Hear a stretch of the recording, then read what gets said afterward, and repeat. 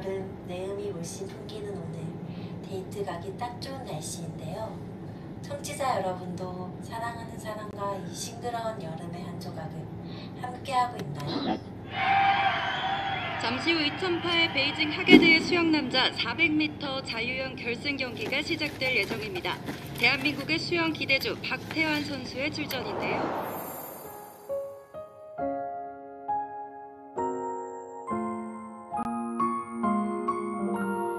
Oh.